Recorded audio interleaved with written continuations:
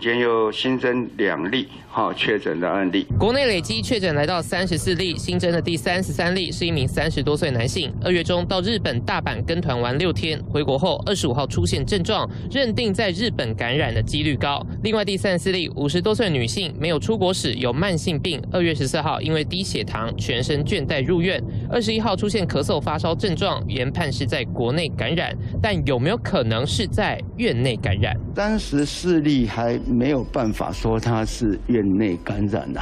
好，三十四例，我们现在他是二月二二月十四号，好住院到二二月二十一号发病。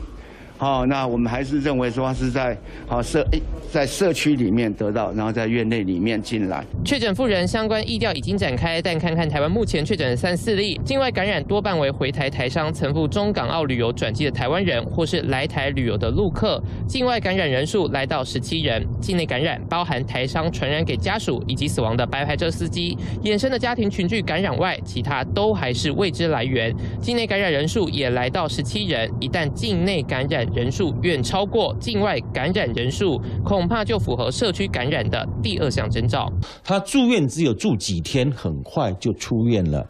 那很快就出院了，他一定是在家里或在社区活动回来的人，他并没有被抓到，并没有被拘留。那这个也可能说。